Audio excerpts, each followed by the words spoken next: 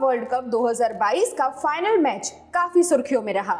ये match Argentina और France के बीच था, जिसमें अर्जेंटीना ने जीत हासिल कर ट्रॉफी अपने नाम कर ली। इस बीच अर्जेंटीना के दिग्गज फुटबॉल प्लेयर लियोनेल मेसी का ये वीडियो लाइमलाइट में आ गया। इसे शेयर करते हुए कहा जाने लगा कि ये महिला मेसी की माँ है। इसी दावे के साथ ये वीडियो न्यूज़ 24 ने भी पब्लिश किया।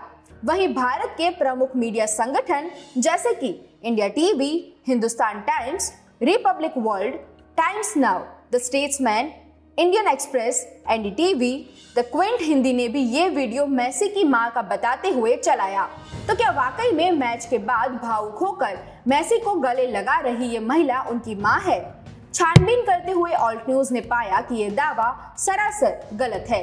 द सन की इस रिपोर्ट में इस महिला की पहचान अर्जेंटीना की नेशनल फुटबॉल टीम की कुक एंटोनिया फरियास के रूप में की गई है।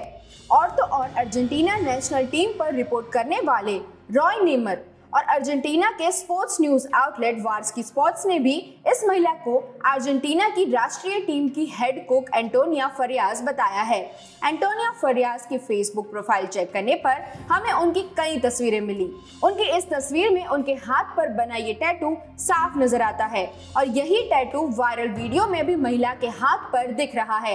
यानी ये महिला मैसी की माँ नहीं, बल्कि अर्जेंटीना की नेशनल फुटबॉल टीम की कुक एंटोनिया फरियाज है।